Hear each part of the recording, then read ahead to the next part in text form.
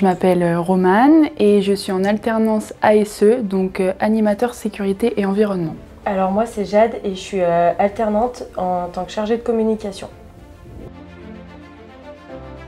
J'ai effectué un bac pro gestion administration. À la suite, j'ai fait un BTS gestion de la PME. J'ai poursuivi dans un bachelor communication. Et enfin, un master communication où là j'effectue euh, ma dernière année d'alternance. Moi j'ai fait un bac L, ensuite j'ai fait un DUT Clio, donc qualité, logistique, industrielle et organisation, et euh, une licence pro QHSSE, donc qualité, hygiène, santé, sécurité, environnement. Et c'est au cours de cette licence que j'effectue mon alternance.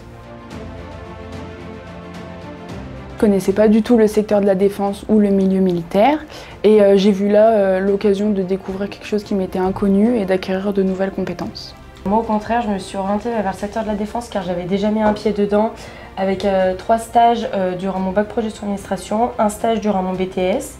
J'ai aussi fait la préparation marine militaire, donc du coup c'était l'occasion pour moi de continuer dans cette voie.